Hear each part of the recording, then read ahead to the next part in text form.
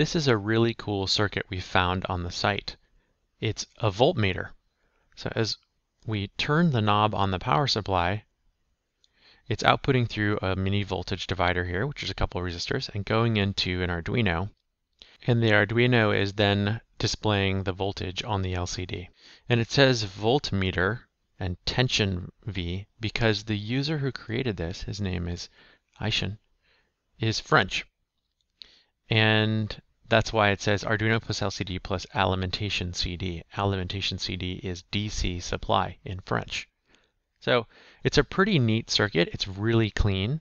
Aishen has a couple extra resistors in here to um, give him a way to make his wires look really nice and clean.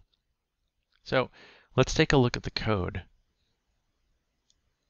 It's very brief. He's including the liquid crystal.h library. He's initializing pins. He's setting some variables. He's outputting a line voltmeter. And then he's doing a little bit of math that has to do with the voltage divider. And at the bottom in the loop, he is getting the LCD to display VN, which is input voltage. That's great. If you want to, you can duplicate his circuit. So you would find it and you would scroll down, you'd hit the duplicate project button. And we've done that too. And I have a version of this circuit and now I'm in the editor. And my circuit is basically the same. I just happen to add a potentiometer here so I can control the brightness of the LED that's inside the backlight. And in the code, this is all of the code.